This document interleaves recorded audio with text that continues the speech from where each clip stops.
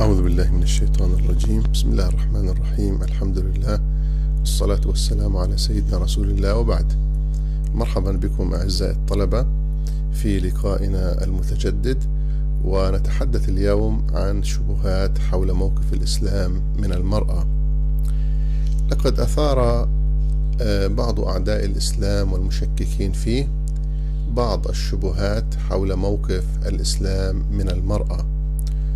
والحقيقة أن ما ساعد هؤلاء المشككين والطاعنين في الإسلام في إثارة مثل هذه الشبهات آه، أمران. الأمر الأول هو بعض العادات والتقاليد آه، التي يمارسها المسلمون في واقعهم آه، في هذا الزمان وفي غيره مما أساءوا في بعض هذه العادات والتقاليد إلى المرأة. فألصقت مثل هذه العادات والتقاليد بالإسلام فكانت يعني مدخلا لأعداء الإسلام لكي يشككوا في موقف الإسلام من المرأة. كذلك آه، أمر آخر يعني كان مدخلا لهم للتشكيك في موقف الإسلام من المرأة وأن الإسلام يظلم المرأة كما يزعمون. وهذا بطبيعة الحال كله كذب وافتراء. آه، هو وجود بعض الأحكام في الإسلام آه، من لا يتعمق في مثل هذه الأحكام يظن أن الإسلام ربما ظلم فيها المرأة آه، وأنصف فيها الرجل على حساب المرأة مثل موضوع القوامة وموضوع الميراث وموضوع الشهادة. دعونا نرد على مثل هذه الشبهات وهذه المزاعم الباطلة نرد عليها بردين. الرد الأول رد إجمالي والرد الثاني رد تفصيلي. أما الرد الإجمالي فنرد به على هذه الشبهات في الجملة ثم نأتي إلى الردود التفصيلية على كل شبهة على حدة. فنقول بالله التوفيق أن مثل هذه الأحكام التي ذكرناها آه، موضوع القوامة والميراث والشهادة التي اعتبر فيها المشككين والطاعنين في الإسلام أنها نماذج لتمييز الرجل على المرأة في الإسلام وظلم المرأة في هذه الجوانب الثلاثة تحديدا. نقول إن مثل هذه الأحكام إنما هي استثناءات معدودة من أصل القاعدة العامة ألا وهي المساواة بين الرجل والمرأة في جملة التكاليف والواجبات والحقوق.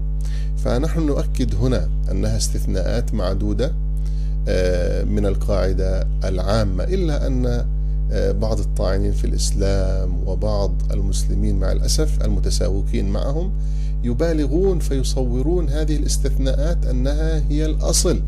وهذا طبعا يعني شيء خاطئ.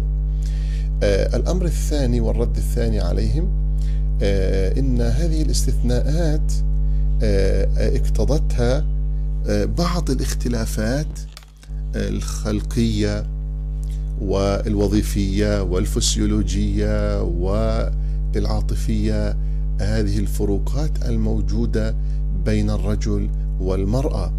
فاقتضت هذه الفروقات أن يكون هناك استثناءات في مثل أو في بعض الأحكام المتعلقة بالرجل وبعض الأحكام المتعلقة بالمرأة. آه، فهذه الفروق بين الرجال والنساء. آه، هذه الفروق الوظيفية والخلقية والنفسية كما ذكرنا هي فروق واختلافات تنوع وتكامل لا اختلافات تنافر وتنازع وتمييز. ولذلك يكمل آه، كل من الرجل المرأة. آه، وإلا لما كان هناك معنى لخلق الله عز وجل الناس آه، من ذكر وأنثى. فلو ساوى الإسلام بين الرجل والمرأة فيما يقتضي الاختلاف بسبب اختلاف طبيعة الرجل عن طبيعة المرأة لكانت هذه المساواة فيها ظلم لكل منهما وهي تشبه من يدعو إلى المساواة بين شاب وطفل في مقدار ما يحملانه من وزن مثلا. فهذه المساواة فيها ظلم لهذا الطفل.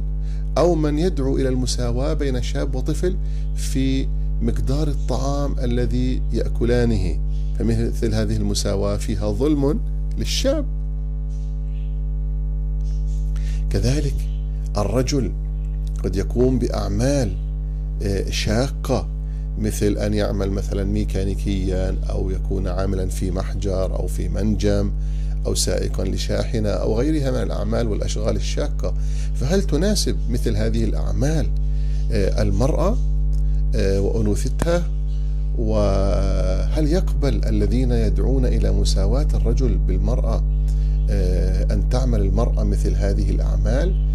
علما بأن الدراسات العلمية أثبتت أن ممارسة المرأة لمثل هذه الأعمال الشاقة والقاسية آه، لا تناسب أنوثتها بل تؤثر سلبا على طبيعتها الفسيولوجية والنفسية والوظيفية في الحياة. كذلك من الردود على هؤلاء آه، آه، أن مثل هذه الاستثناءات قد روعي فيها التكامل والتقابل والتوازن بين الرجل والمرأة. فما من واجب على المرأة إلا ويقابله واجب على الرجل وما من تفضيل له عليها في شيء إلا ويقابله في نفس الوقت تفضيل لها عليه في شيء آخر.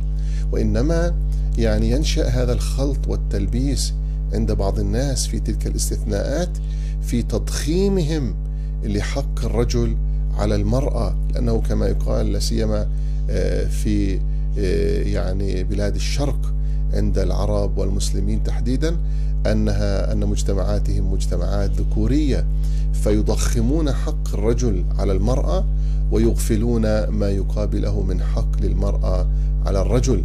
فمثلا نجد أن الإسلام قد أسند القوامه إلى الرجل ولكنه أوجب عليه في مقابل هذه القوامة النفقة. والقيام بشؤون البيت وأعبائه المالية. كذلك أوجب الإسلام على المرأة أن تقوم بأمور البيت الداخلية من رعاية وعناية وتربية ولكنه أيضا أوجب على الرجل في مقابل ذلك أن يقوم بأمور البيت الخارجية كما ذكرنا. وكل ذلك مصداقا لقوله تعالى ولهن مثل الذي عليهن بالمعروف كذلك نقول يا كرام إن أمثال هؤلاء الطاعنين آه، في الإسلام والمشككين فيه آه، يغضون الطرف آه، عن استثناءات مقابلة ميز بها الإسلام المرأة على الرجل. مثل موضوع البر فقد أوجب الإسلام وللأم تحديدا من البر على أولادها ما لم يوجبه للرجل كما جاء في الحديث الصحيح أمك ثم أمك ثم أمك ثلاث مرات وفي الرابعة قال ثم أبوك. كذلك المرأة معفاة من كثير من الواجبات التي أوجبها الإسلام على الرجل آه، وهي واجبات ثقيلة. مثل القتال والجهاد في سبيل الله وحضور الجمعة والصلاة والصيام في فترات معينة آه، تكون المرأة فيها معذورة فترة الحيض وفترة النفاس. كل آه، هذه الأمور تعتبر امتيازات واستثناءات للمرأة. فلماذا لم يذكرها هؤلاء الطاعنين في آه، الإسلام مقابل بعض الاستثناءات التي أعطاها الإسلام للرجل؟ كذلك إن هؤلاء الطاعنين ينسون حال المرأة عندهم ونظرتهم إليها. فعلى الرغم من تحسن وضع المرأة في الحضارة الغربية عما كانت عليه عند الأمم القديمة إلا أن المرأة لا تزال تعاني من بعض صور الامتهان فلا يزال ينظر إليها لا بوصفها أنها إنسان مكرم بل بوصفها جسدا يعرى ويكشف. ولا تزال تستغل أنوثتها وجمالها للتجارة والإعلانات الرخيصة واللهو في سوق النخاسة والعبودية وكذلك يعني آه، المرأة في الغرب إنما تستخدم آه، لبذل جسدها للدعاية والمتعة والفجور والعياذ بالله. أما الردود التفصيلية على هذه الشبهات فنأخذ كل مسألة على حدة نرد على ما أثير حولها من شبهات. فنبدأ بموضوع القوامة. يقول الله تعالى الرجال قوامون على النساء بما فضل الله بعضهم على بعض وبما أنفقوا من أموالهم. آه، يظن بعض الناس أن القوامة تعني الفوقية والتعالي وهذا المفهوم مفهوم خاطئ غير صحيح لأن القوامة يا كرام في الحقيقة هي القيام بشؤون الزوجة والأسرة من حيث النفقة ومواجهة الاحتياجات والمشكلات والأعباء المالية. وبذلك نجد أن هذا المفهوم أي مفهوم القوامة أقرب إلى الخدمة منه إلى السيادة وإلى التكليف منه إلى التشريف وهو عبء وليس مكرما وقد ألقى الإسلام على الرجل هذا العبء دون المرأة لأن الرجل أقدر على مواجهة مشكلات الأسرة واحتياجاتها فهو الذي يعمل وهو الذي يوكل إليه آه، مواجهة المجتمع في حين أن المرأة أقدر على الحضانة والتربية للأطفال داخل البيت لأنها أوفر في العاطفة والحنان وأكثر استعدادا للقيام بمثل هذه الوظائف. وهكذا يتحقق العدل من خلال تلك المقابلة بين الحقوق والواجبات. فالرجال مفضلون على النساء في القدرة على معالجة المشكلات والتحديات الخارجية بينما النساء مفضلات على الرجال في القدرة على التعامل مع الأولاد وتربيتهم ومتابعتهم داخل البيت. ولذلك نجد أن الآية الكريمة قد عللت القوامة آه، وتفضيل الرجال على النساء في نواحي والنساء على الرجال في نواح أخرى وبأن عمل الرجل هو خارج البيت فناسب أن يوكل إليه معالجة آه، المشكلات الخارجية.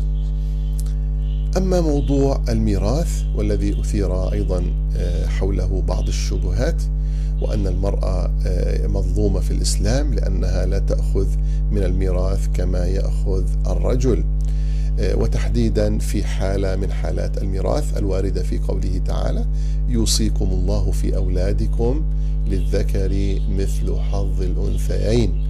آه، فلا بد هنا أولا من التنبيه إلى عدة أمور في أثناء حديثنا عن هذه الآية الكريمة. الأمر الأول آه، أن الإسلام قرر للمرأة حقها في الميراث.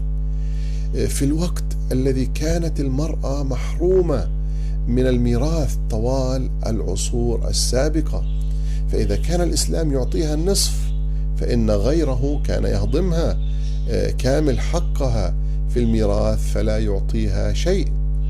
آه، كذلك إن القاعدة آه، التي في الآية الكريمة أن للذكر مثل حظ الأنثيين خاصة بكون الورثة أولادا إخوة ذكورا وإناثا كما يشير إلى ذلك صدر الآية الكريمة المذكورة. وأما في غير هذه الحالة فإنه في بعض الأحيان قد يفوق نصيب المرأة من الميراث نصيب الرجل. كذلك السبب في أن الإسلام جعل نصيب المرأة نصف نصيب الرجل في الحالة التي ذكرناها. أن هذا الولد وهذا الابن سيقبل على الزواج في المستقبل وما يأخذه من ميراث آه، زيادة على البنت سيعيده لها أي لزوجته حين يلتزم بمهرها ونفقتها وبناء بيت جديد وأسرة جديدة. وفي المقابل لن, لن تلتزم البنت بشيء من ذلك بل يبقى نصيبها الذي ورثته معفى من أي التزام مالي ويأتي عليه أيضا زيادة آه، من النفقة سواء من أخيها أو أبيها أو زوجها الملزمين جميعا بنفقتها. وبطبيعة الحال يا كرام هذا هو العدل. أن يكون الغنم بمقدار الغرم. وهذا مثال على المقابلة العادلة بين الحقوق وليس المساواة التامة الظالمة. فمن يطالب بالمساواة المرأة بالرجل في الميراث عليه أن يطالب بمساواة المرأة بالرجل في الأعباء والتكاليف الإيمانية. والحقيقة آه، عفوا بالأعباء والتكاليف المالية. والحقيقة أنه لولا إيماننا بعدل الإسلام لكان الأولى أن يقال إن الإسلام أنصف المرأة أكثر مما أنصف الرجل لأن أي أحد لو خير آه، فإنه سيختار نصيبا آه، خاليا من أي التزام على أن يأخذ نصيبين مثقلين بالتزامات وأعباء مالية كثيرة.